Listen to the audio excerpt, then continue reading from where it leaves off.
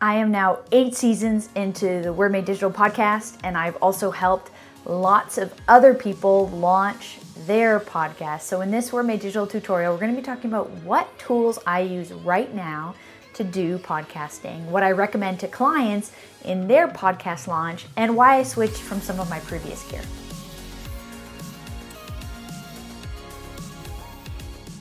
Hello my friends, welcome to Word Made Digital Tutorials. I'm Joanna LaFleur. In this tutorial we're talking about gear for podcasting in 2022. What am I using right now? Hundreds of thousands of listens and downloads later, I've learned a few things, so I wanted to share them with you. The first thing that I want to talk to you about is the platform that I use. The current platform that I use is called Riverside.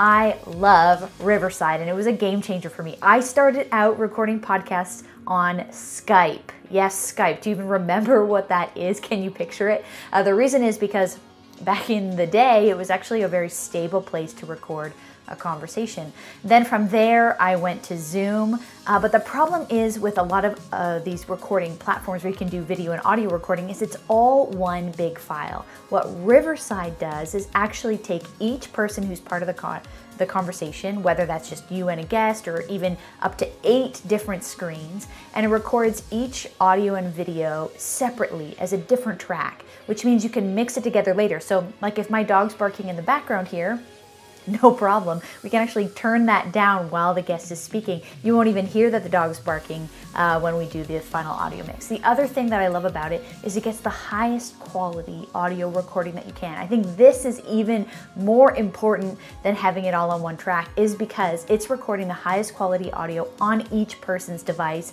and then separately uploading it to the cloud where we can download and do the mix later. So, so even if a computer crashes, the internet's not too good, it's going to have the highest quality from each person's computer rather than trying to pull a lower quality resolution uh, through the internet. So Riverside has been a game changer. There's tons of features. I'm going to link it below if you want to check out the platform. I can't recommend it enough. I use it for all my podcasts and all of my clients for about two years now. Next to the recording platform, the thing that I always get asked about is microphones. What mic am I using to record my podcast? And sometimes you might even see it. If you watch the podcast on YouTube, you might see the podcast somewhere in the corner of the screen.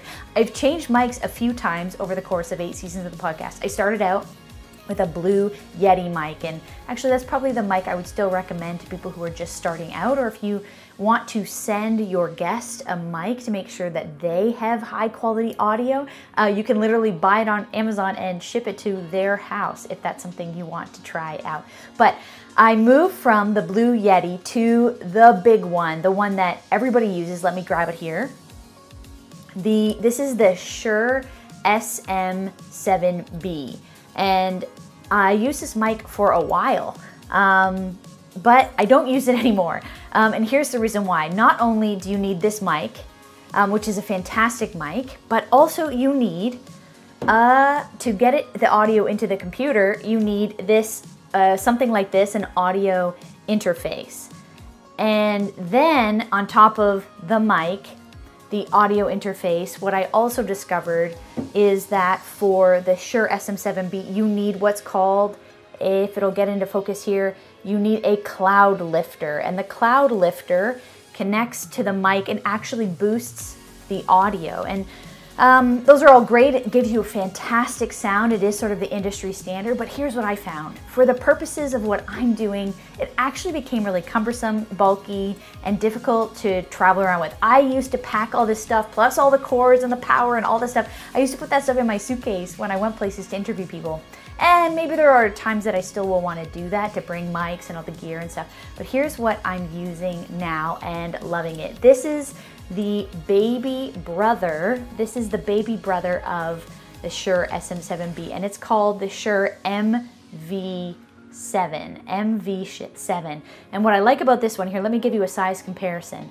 It's smaller for sure, but more than that, this one Check it out. It has a USB plug. So I can plug, you can uh, plug this thing into your, if it'll focus on here, it will plug into your um, audio interface. But here, this little thing right here, it's a USB plug. And so I find it really light, really easy to use, really friendly for podcasting where the larger mic is designed for more robust sound. Like it could even record uh, the audio for music and a vocalist, where with podcasting, it's a lot more simple what you're trying to record and so you maybe don't need to spend the money or have the big bulky equipment that needs to be you know tweaked and you gotta like make sure the levels are right and the gain is right and all that stuff. If you're not an expert at audio i think that the usb mics from Shure are an amazing option for you. All right so speaking of sound let's talk about headphones. You're gonna want a pair of headphones if you're podcasting so that the audio isn't echoing into the room off your speakers and then being picked up by your mic. I used to use these. These are my, you know, my AirPod Pros. I, uh, I have loved, I have loved these for sure. I keep them in this little case so that I don't mix them up because everybody's AirPods look the same. But Actually, I find because they are Bluetooth, they can be a little bit unreliable. And the last thing you want in the midst of a conversation is to have your Bluetooth connectivity cutting in and out. You really want to hear every word of your guest. And so this big old rat's nest is uh, what I use. It doesn't need to be fancy headphones because um, it's just simply making sure that the sound is coming through. If you want to use big Bose headphones or whatever, of course you can. I have those too.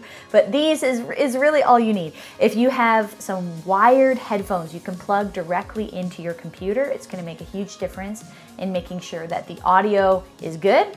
You can hear your guest, but more than that, you can hear it consistently and you're not going to see the batteries die on their Bluetooth headphones or a loss of connectivity of Bluetooth right in the middle of the conversation. It's happened to me and it's really frustrating and, and then because of how Riverside is set up, you actually, actually have to pause the conversation and tell Riverside on a re-record that you are no longer using headphones so that it doesn't um, have the echo in there. It's a whole complicated thing. You can see what I'm trying to say is make sure you have wired headphones when you're recording a podcast. Light. Let's talk about light in a podcast setup. If you're doing a video podcast, I would recommend as much as possible get some either natural light or a ring light, a direct softbox light, something that you can point at your face. If if it's natural light, you want to have the window on this, you know, the other side of the camera, so it's creating soft light onto your face and onto uh, the camera that's picking up your video for podcasting. But so natural light will do. But hey, if you can have a ring light or something small and compact that you can include in your setup, makes a huge difference to get better audio visual lighting for your podcast if you're also doing a video version. Another key tool in my setup is Calendly. Calendly is a scheduling app. I love this opportunity to book my guest in a really seamless way. So if you don't use Calendly or something like it, it means that there's a lot of emails back and forth. But with this, I can simply send someone who's going to be on the podcast a quick link. Me or someone on my team will send a quick link, and it will give them lots of dates and times to choose from that work for both of us. And then when they select the date and time that works for them, it's going to send them automatically all the information about the podcast. Here's the link and how to join. You know, here here's what you need to be prepared for. Um, here's how you can set up your tech. And then also Calendly will send them reminders, so you don't need to follow up with them. You know that they're getting uh, reminded before the call, so you're not sitting there waiting, wondering if they're going to come. Calendly has been an amazing tool in the practical scheduling of my podcast guests and I use it also with my clients, and they've found it really seamless as well. Speaking of my team, I made a quick mention there to do with Calendly and our scheduling logistics.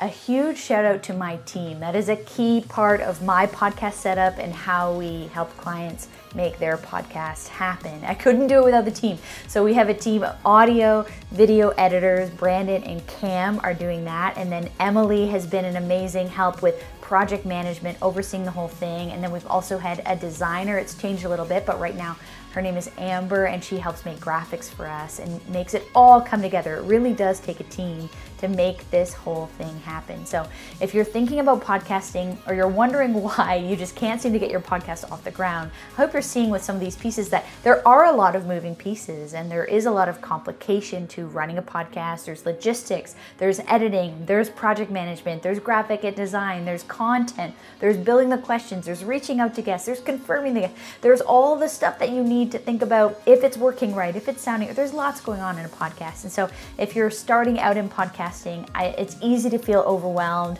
but don't be overwhelmed. We're here to help. There's some other tutorials right here on the channel that are about podcasting. We'd love for you to check them out. But also on our team, I wouldn't want to miss the opportunity to talk about Compassion Canada because Compassion Canada, who's been sponsoring this tutorial series, is an amazing partner to get my podcast as well as our Word Made Digital tutorials out into the world and into your ears. They are all about transformation through the local church, which is why we've partnered on this series. We're trying to help you as the local church do what you do, as well as partner with churches around the world to hear transformational stories on the Word Made Digital podcast, to hear what God, what God is doing around the world. Let me tell you a little bit about what God is doing through compassion in the Philippines. I think of this young woman named Ria, and she grew up in the compassion program. She didn't have much at all when she was growing up, extreme poverty. She came through the local church into a compassion program. And I love that she said, coming out the other side, when someone sees you, it changes you. And that's exactly it. Through compassion in the local church, children are being seen and noticed, beloved of God. And then through that opportunity, they get to grow physically, emotionally, and spiritually with opportunities they never would have had before. And Ria now, coming out the other side, is a graduate and an alumni of the program. I love this. She's sponsoring a kid in her own community where she grew up. She's now sponsoring the next generation of compassion children. So would you consider it yourself? Go to compassion.ca to learn more. Well, hey, thank you so much to my team for making these podcasts possible, for you, the viewers who are learning together with us how to do podcasting and communications and digital content and so much more. We've got all kinds of tutorials here for you to check out. Why don't you hit subscribe so you don't miss the next one? We've got new content coming out every single week. See you on the next one.